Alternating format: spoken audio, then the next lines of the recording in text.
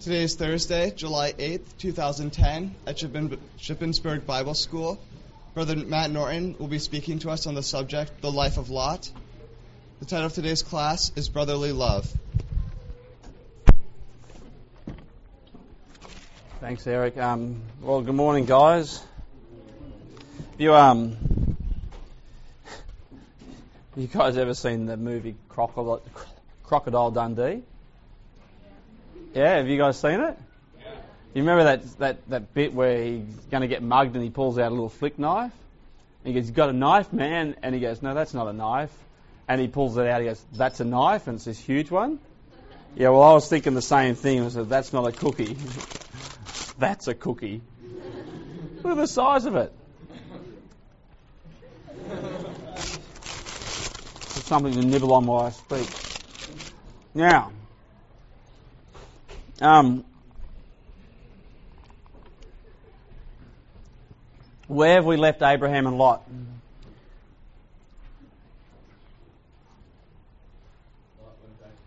Lot went back to Sodom. So where were we yesterday? Did I do chapter 14 with you yesterday? Yeah, the captivity.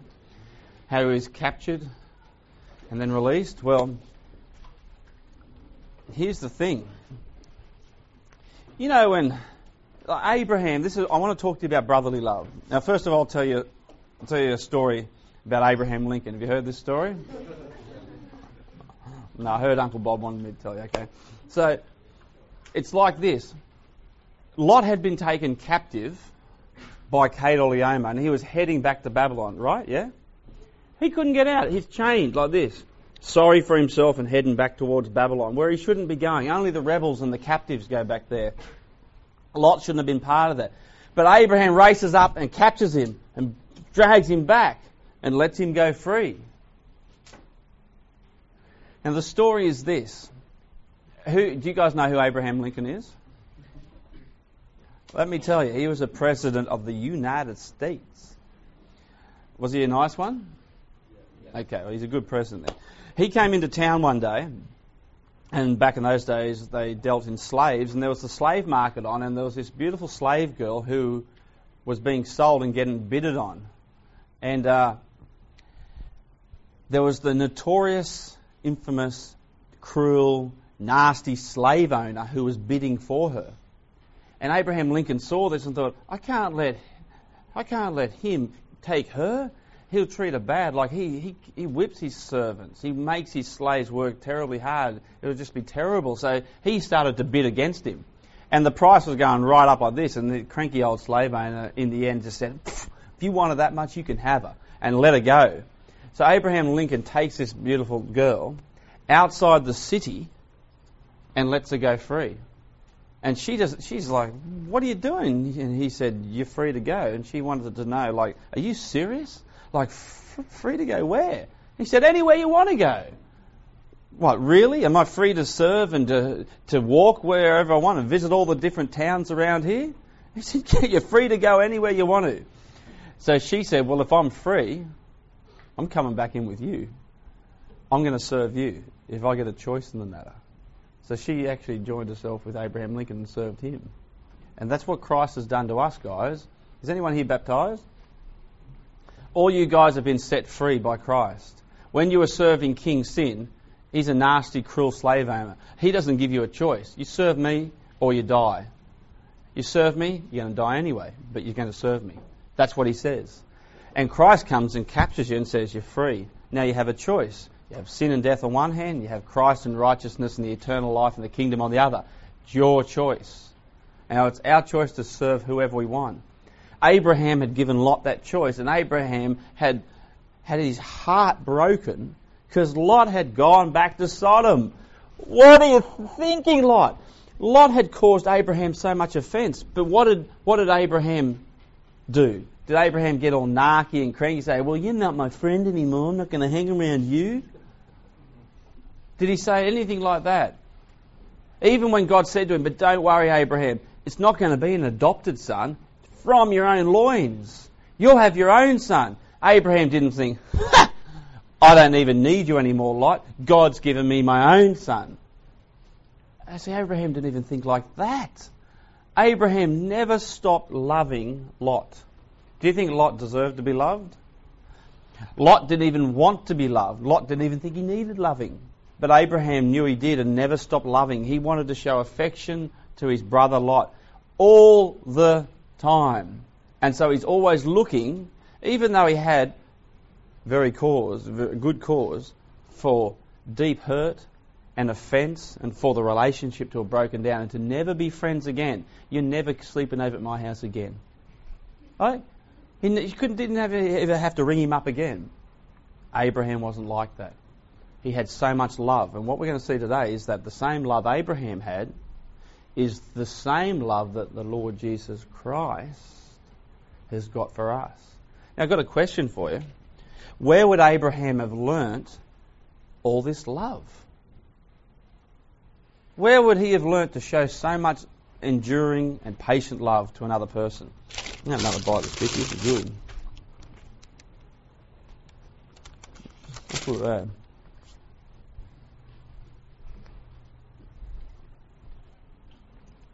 Mate, by the time you guys answer, I'm going to have that whole thing finished.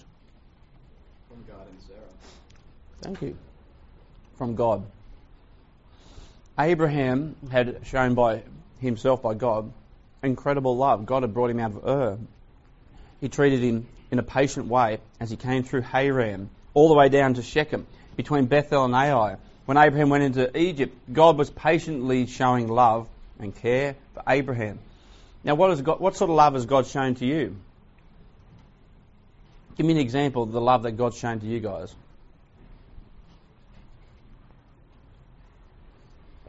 How do you know God loves you? Do you hear him at night say, as he tucks you into bed, I love you? No? So, how do you know he loves you?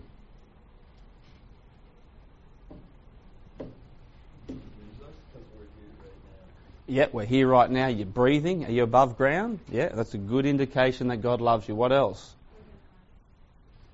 Yeah, He's given us His, his Son, the Lord Jesus. Now, imagine giving your Son to somebody else to show you where your life will end up if you don't serve God.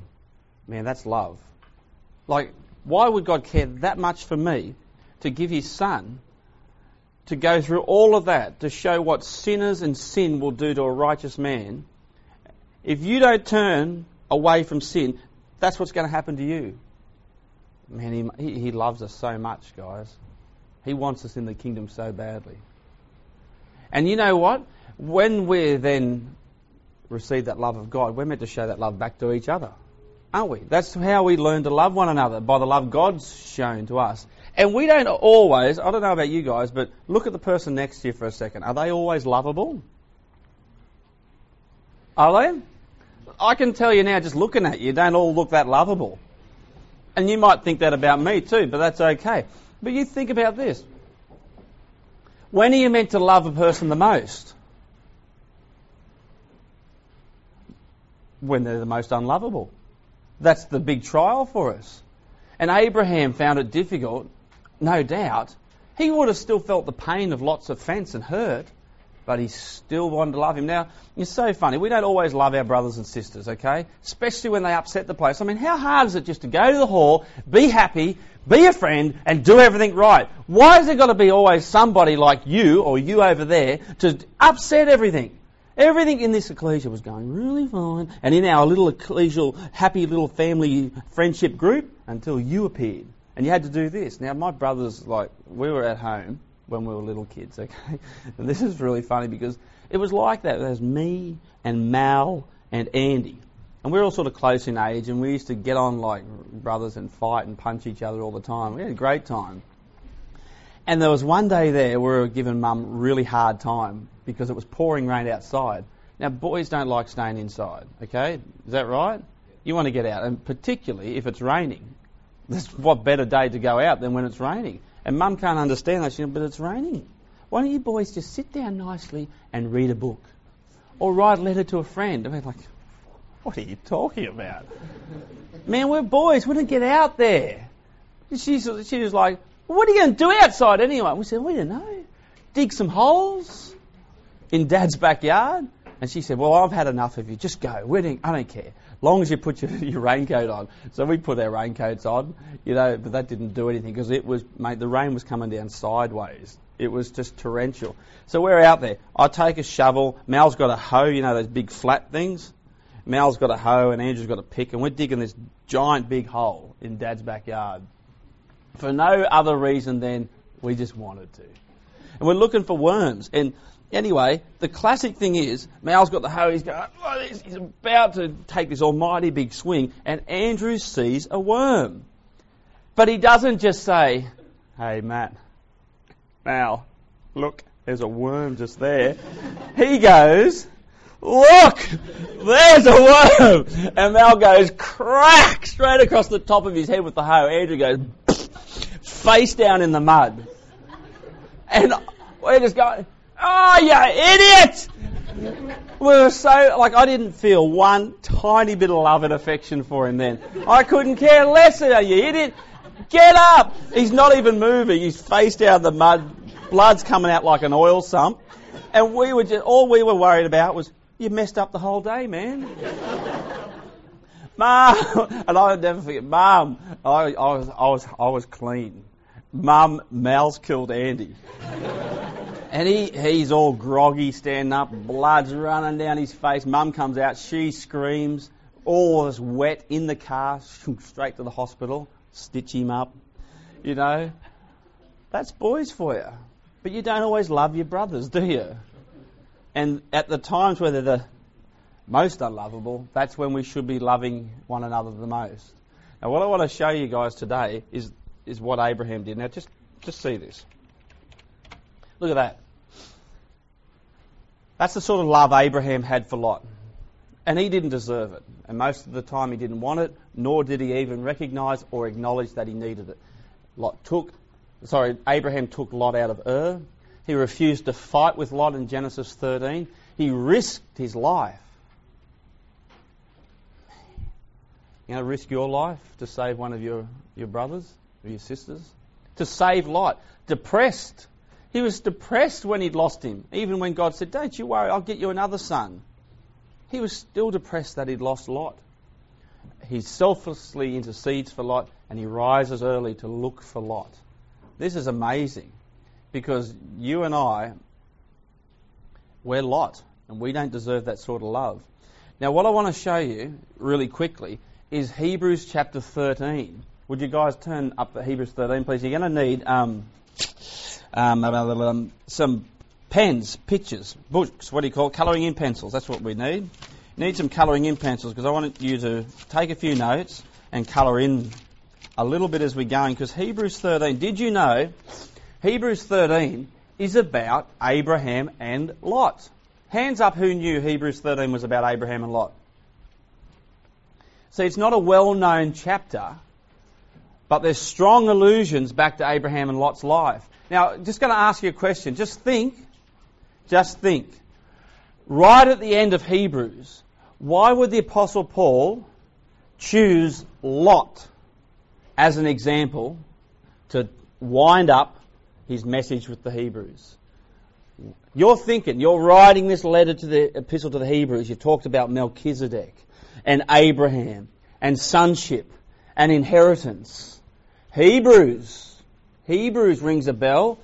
Why would you end up with a final exhortation and use Lot as an example? What do you reckon, guys? Another bite of this. I'm going to expect one for tomorrow as well.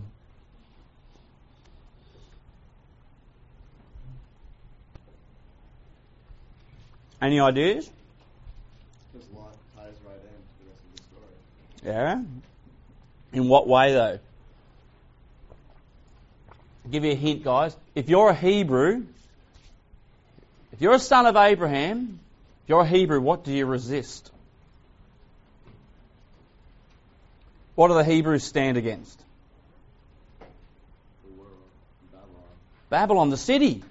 Hebrews say, I'm not building the city. And I ain't living there. I'm getting out of the city. I'm going to live in a tent. That's what Hebrews do.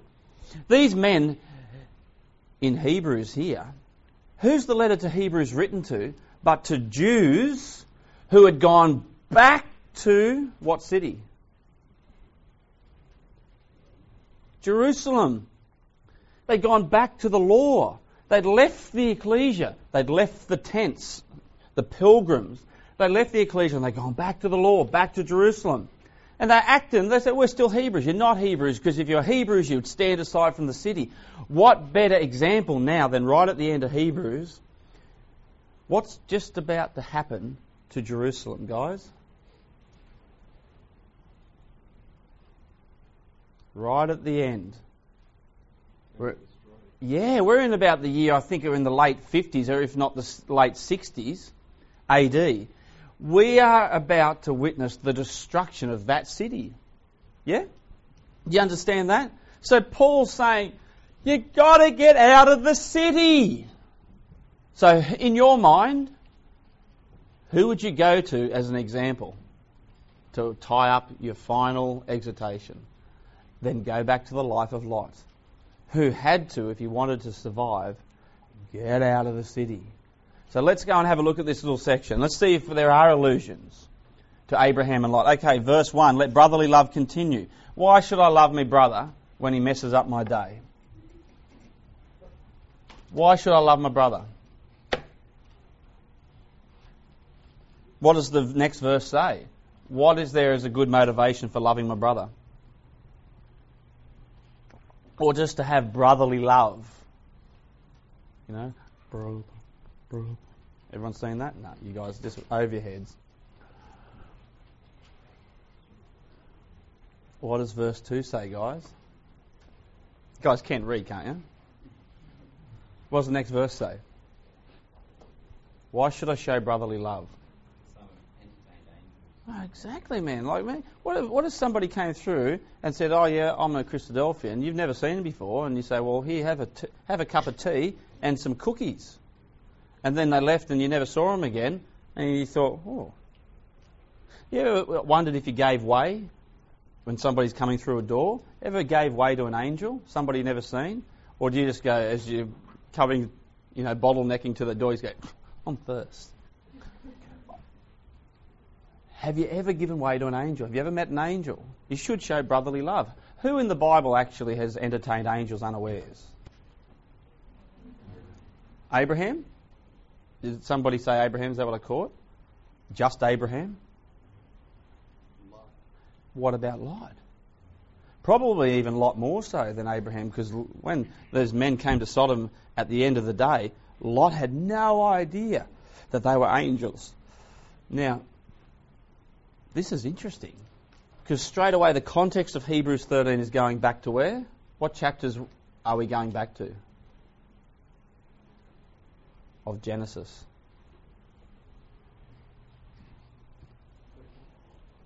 A little bit further on, when did Abraham entertain and Lot entertain the angels unaware?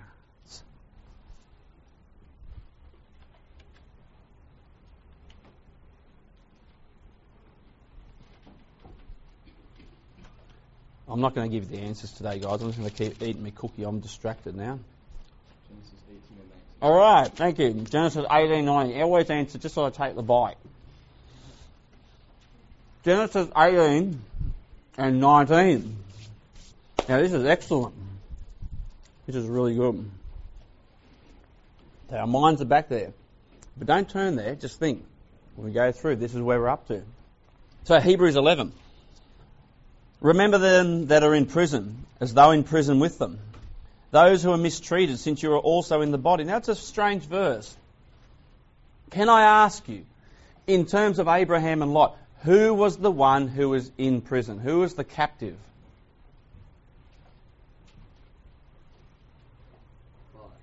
When was Lot captive? From the moment he left Abraham, he was a captive and he needed deliverance. In fact, this word's used of us from our enemies, from, of us from death, and us from our sins, and the power of darkness. Look at that. Lot needed delivering. Second Peter says God knows how to, to deliver the godly from temptation. He knows how to deliver us. In other words, you only you guys ever delivered anybody before? Rescued someone? Has anybody ever rescued anyone? Have you? What happened? So, so you rescue them. So the reason why you rescue somebody is because they can't get out themselves. Is that not correct? I mean, they need your help. Lot was a captive. Just imagine what it would have been like to be in Sodom. Would you want someone to come and rescue you if you were there? Man, if I made dumb choices like that, and you hear about it one day, young people, I want you to fly out to Australia and redeem me, recover me, rescue me. Because if you don't, who's going to? If you don't show me love and you see me and hear that I need rescuing, who's going to save me? Well, Abraham was keeping his eye out to save his brother Lot. Now it goes on. It goes on in verse 4. Look at this. Let marriage be held in honour among all, and let the marriage bed be undefiled, for God will judge whoremongers and adulterers. What does that remind us of? Who are the whoremongers and adulterers God will judge? Yeah, people of Sodom. And then the next verse says, Are you ready for this? Keep your life free from the love of money or covetousness, and be content with what you have. For he has said, I will never leave you nor forsake you. So we can confidently say, The Lord is my helper, I will not fear what man should do to me. Now, the word covetousness there in your Bibles, you want to make a note of it. It is phileo argos. It means lover of silver. Now, have you noticed there's two loves in this chapter? What are the two loves in this chapter that we've already looked at? Yeah. So, can you see what's being implied? What happens if you don't love your brother? What will you turn your affection and love to? The love of silver. You see that? Be content. Don't love silver. Lot loved silver. He didn't love his brother Abraham.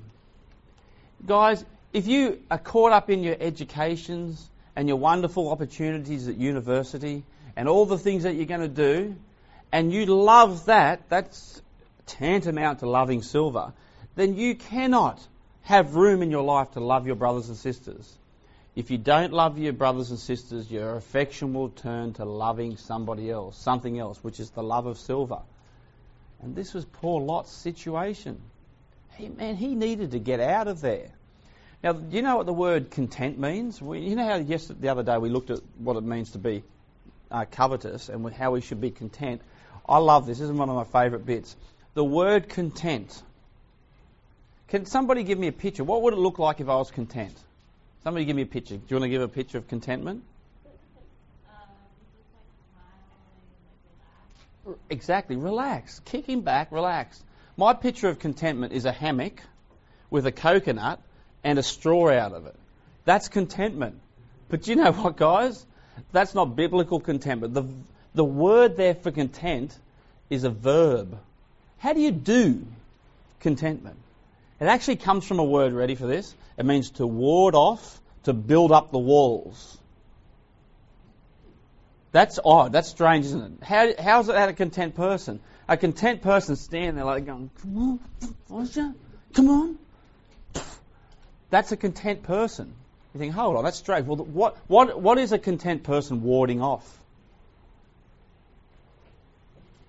And saying no to? Back down, soldier. The world outside is telling us every day, as it comes in and besieges our life and has an encampment around us, we're building up a wall because it's saying, you need more. You need this. You need the 120 gig iPod. You need that university degree. You need this and more and more of everything faster and faster. And we've got to build up a wall and say, get back, stay down, keep back. I'll fight you. Bang. And we've got to keep punching the world in its head and kicking it and keep running away. And the world every now and then breaches down the walls and trips us over and crash tackles us, but we've got to keep getting up and kicking it in the head and keep running again. That's what sin does to us. Sin is going to breach our defences. And a content person is someone who builds up the walls and wards them off. Has anyone ever been to Gran's house, Grandma's house? Who's, who loves Grandma? And I love Grandma, right? Tell me the sole purpose for which Grandma was put on this earth. Food, exactly. Everyone knows. It's true. Absolutely true. So you get to see Grandma knock on the door, she sees you, and it's like she hasn't seen you in a millennia. She goes, oh, It's you! And she's so happy and gives you this huge cuddle. And then she say, hello, Grandma. She says, have a cookie. Puts food in your mouth. And you always turn up accidentally on purpose at around lunchtime. And she says, well, quite unexpectedly, would you like to stay for lunch? Well, Gran, I never thought of that. Yeah, I'd love to. I'd love to stay for lunch. And then she feeds you. Have you ever had McDonald's at Grandma's? No. I don't think you've ever had KFC or McDonald's at Grandma's. She don't do KFC. She makes all her food, and it's good food. It's actually beautiful food, home cooked meals. And you sit there and you stuff yourself till you can hardly move, and then Gran says, But wait, there's more.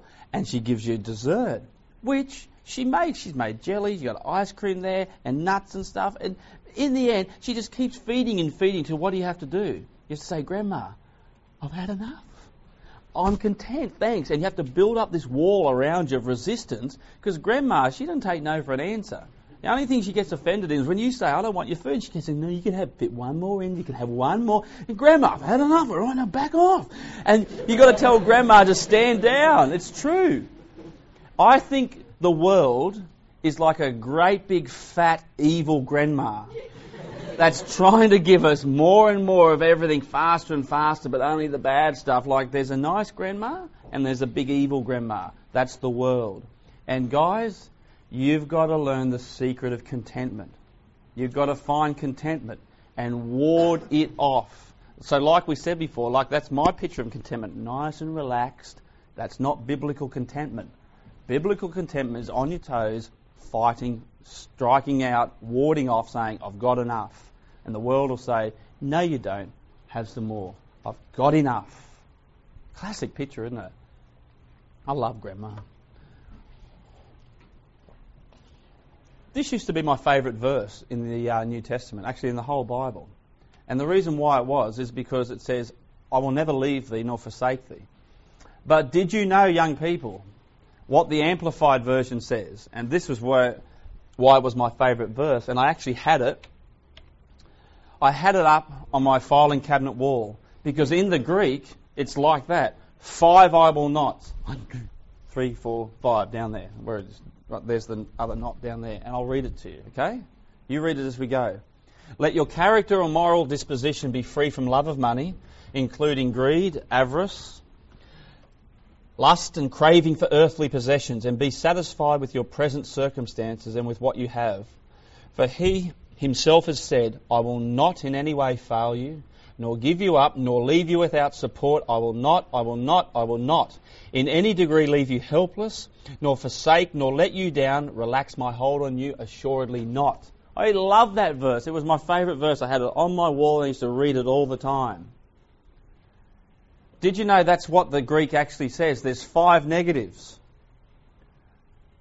Paul says, not, not, not, not, not. Why does he say not, not, not, not, not? Here's the diaglott. Be not of an avarice, it's a greedy disposition. Be satisfied with present things, for he himself has said, No, I will not leave thee. No, no, I will not forsake thee. So you're reading that verse. What's the first question you ask yourself?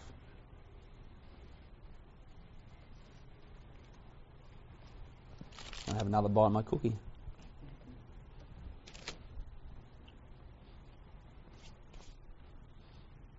What are you thinking when you read that?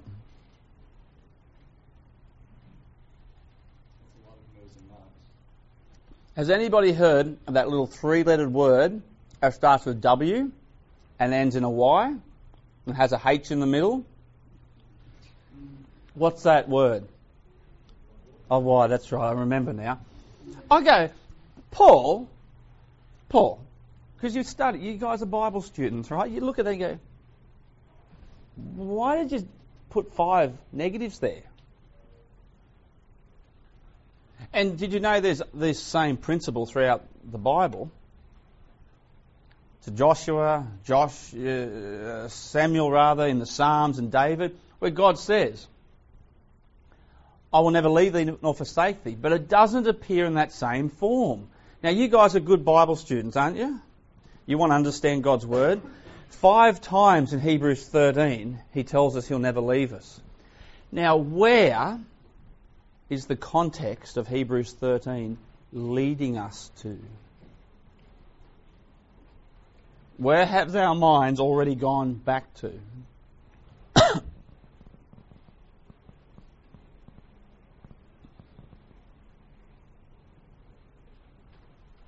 Where, guys? Are we, uh, have our minds in Hebrews 13 gone back to the days of the kings?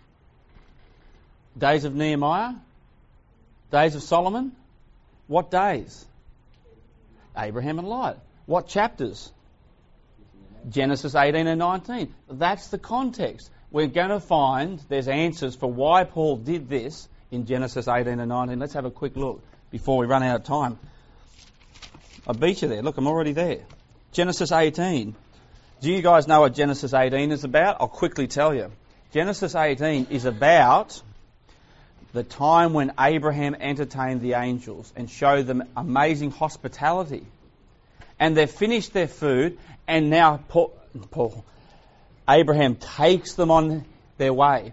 And as they're walking, the angels are talking to themselves, and Abraham's evidently a little bit behind. The angels are talking, they say, Hey, you know that project we've got? We've got to go down to Sodom and see how bad it is, and we might destroy it. We should really tell Abraham what it is we're going to do. And we've got to tell Abraham because, well, he's faithful.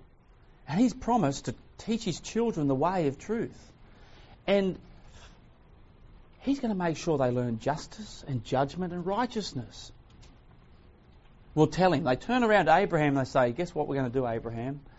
It's highly likely that we're going to blow Sodom and Gomorrah out of the ground. And Abraham goes, Oh, phew. For a moment there, I thought you were going to blow the plains of Mamre out of the ground up where I am. Oh, that's okay. I'm safe. Is that what Abraham said? I don't think so. Abraham's mind immediately goes to his son in the faith, his brother Lot. And he thinks, oh my goodness, that's terrible. Because back there in Sodom, is the ecclesia. God, you wouldn't kill the righteous with the wicked. You, that'd be far from thee, the judge of all the earth. You wouldn't do that.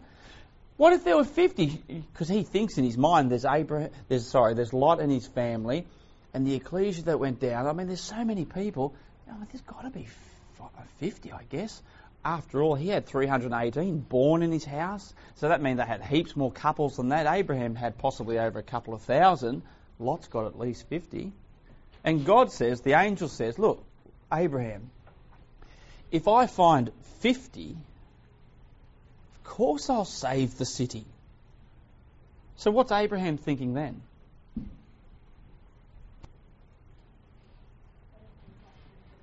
Exactly. Well, there's left in 50. Now, I'll just put it up for you so you can see this. Check this out. He says, if I find 45, what does God say? Somebody read that last line. I will not destroy it. And then he says, Well, what if there's 40? And God says, I will not do it. And what if there's only 30? But God, don't be angry at me. Please don't be angry. What if there's only 20? I will not destroy it. And then he says, I'll ask once more. I'm not going to talk again. I'll shut up, I promise. What if there's only 10? See that? How many I will nots are there? So, in answer to our question, I want somebody to answer this. In answer to our question, why did Paul put five negatives in the Greek of Hebrews chapter 13, verse 5?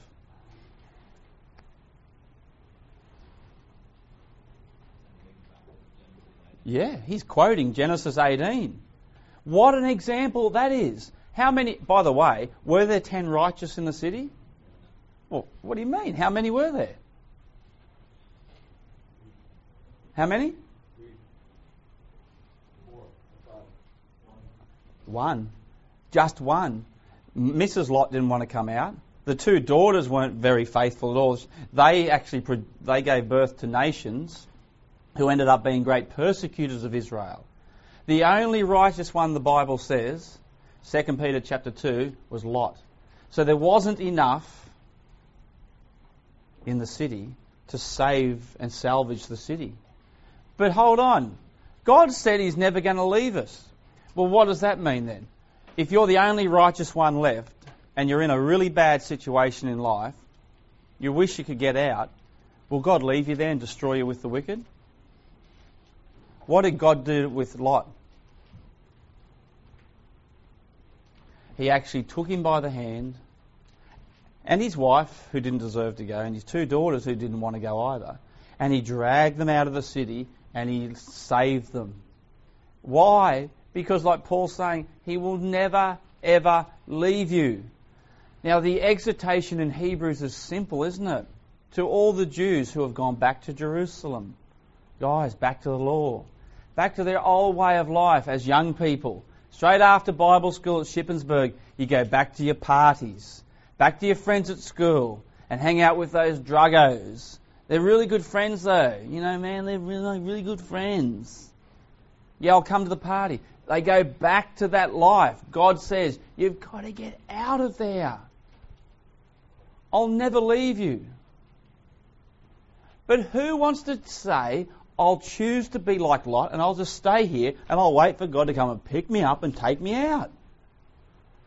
The lesson of Lot's life for us, guys, is we've got to stand up, open the door, and make a go for it ourselves and get out of there. God's with us, but let's not try his patience. Let's not presume on his mercy and grace. Let's do something. Now, have you guys all marked that in? You put Hebrews 13, verse 5 beside Genesis 18? And in uh, Hebrews 13, have you put Genesis 18 there and coloured in the five I will nots? You've got to mark that in, guys. It's very, very, very important. It's the most important thing on earth because we get, we get, we get scared about tomorrow, don't we? We don't know what's going to be ahead. Are you guys scared that maybe God will leave you? Maybe He won't be there with you to strengthen you in all your trials of life? I mean, I don't know what's on tomorrow. I remember this story about a young, a young fella that did some mission work in a quite a primitive culture. No email, no access to computers, and what he had to do, he got from his girlfriend and his mum letters, and they decided because the postal system was really very ordinary and inept, they would number the letters. And so they numbered all their letters, and he said when he got home, he said, Well, the first week I received letters 1 to 7 in the first week. And then it was a two or three week break, and after that I received letter 22. But I knew when I read letter 22 that everything at home was fine, everything was okay. He said, I didn't know what was in letter 8 through 21. I just knew that when I read letter 22, everything was fine. That strikes me, guys, young people, as a classic picture of our life. You know, we've all received letters 1 to 7, haven't we?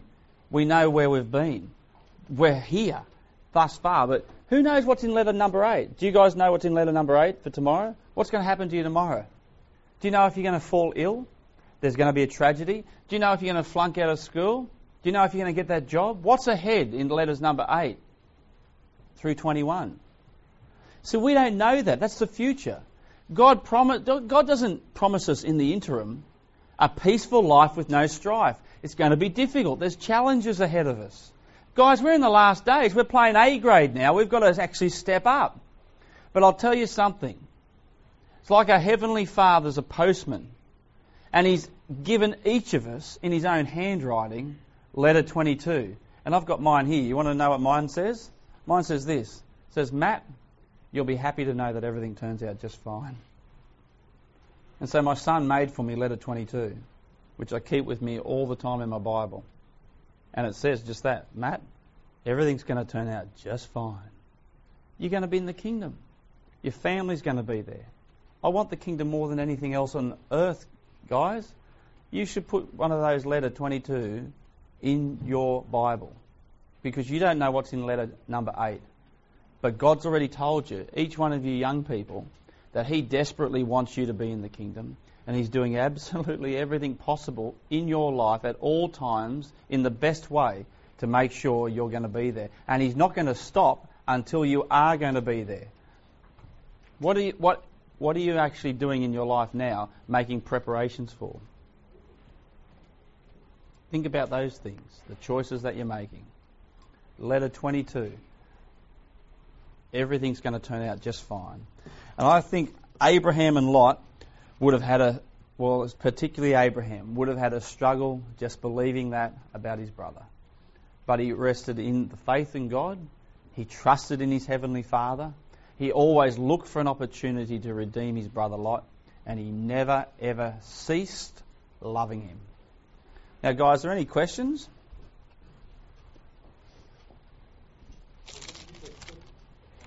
Beg pardon? I know, look at that. Half eaten. Who would give somebody a half eaten cookie?